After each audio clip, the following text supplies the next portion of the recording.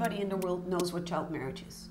A girl under the age of 18, or boys in some cases, getting married before they are 18. But what I didn't realize is how enormous the number of girls is who are affected by this practice and how incredibly bad it is. This is affecting 10 million girls every year, which means 100 million girls every decade. Mm-hmm. And if you just think about it, it's not just the 10 million girls.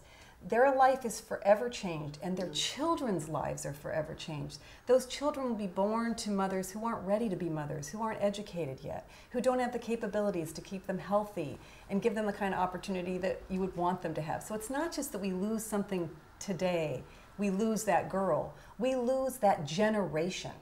Every three seconds, a girl will be married.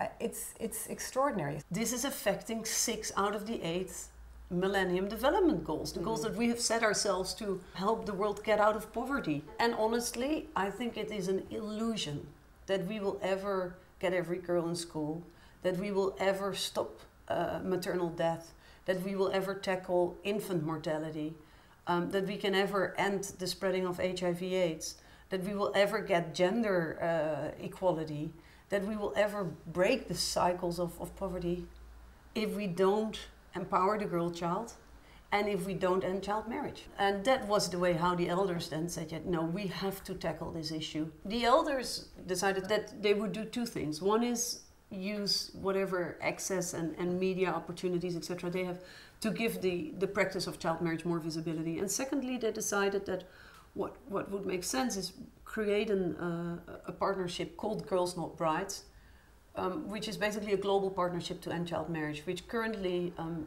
a year since its launch, has about 200 members from 40 or so countries.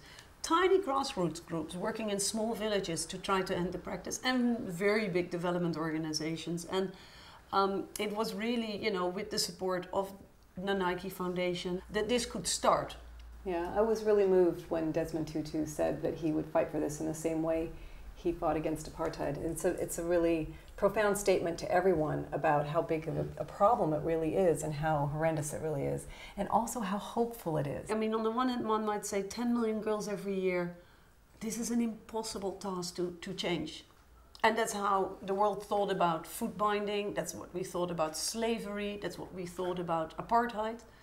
And at the same time, we know that if the girl that you met, the girl that I met, all their peers, if we can keep them out of marriage until the age of 18 and get them a proper education, we know that they will never ever let their own girls, their own daughters, get married before the age of 18. Which basically means that we can change this incredibly harmful practice in one generation.